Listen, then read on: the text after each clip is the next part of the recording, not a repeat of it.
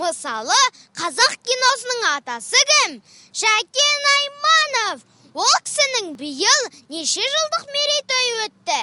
Әрине жүз жылдық. Мен бұның бәрін қайдан біліп алдым деп ойлайсыңдар? Әрине көрмеден кеттік көрмеге. Бұл қазақ кино өнерінің негізін қалаушы шәкен аймановтың шығармашылық жолының сыр шертетін көрме. Мұнда режиссердің фотоматериалдары құжаттары мен марапаттары қойылған. Одан бөлек жеке заттары мен сыйлықтары да бар екен. Және де ол кісінің өзі жинаған коллекциялары біздің назарымызға түсті.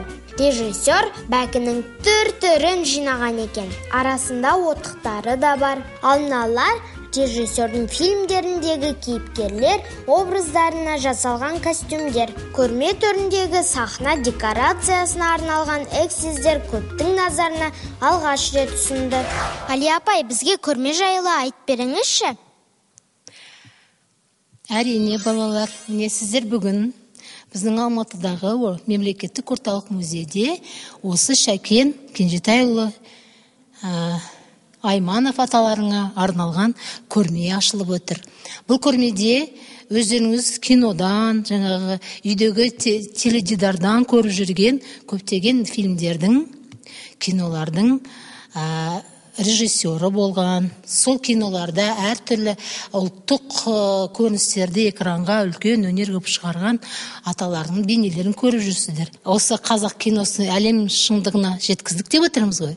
Сол кино саласында және театр саласында ойнаған бір жаңағы жасаған образдардың бірі алдар көсе алдар көсені балалар бәріміз білеміз ертегілерден білеміз. Иә негізі бәріміз білеміз кім көсе кім екенін ол өмірде сол кезеңдегі шындылыққа тазалыққа ә, өзінің жаңағы қимыл әрекеттерімен айтқан әңгімелерімен иә?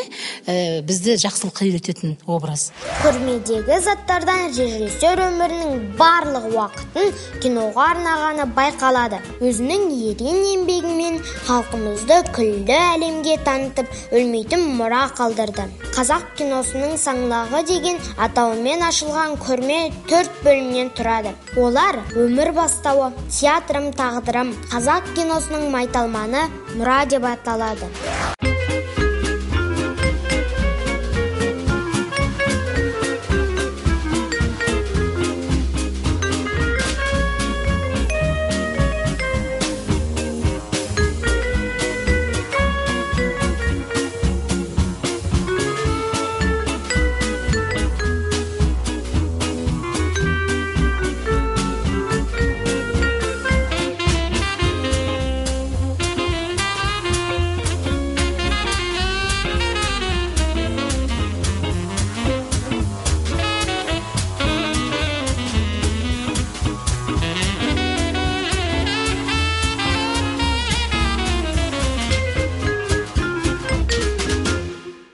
Абай әндері жамбыл біздің сүйікті дәрігер тақиялы періште. Бұның бәрін шәкен атамыз түсірген кинолар.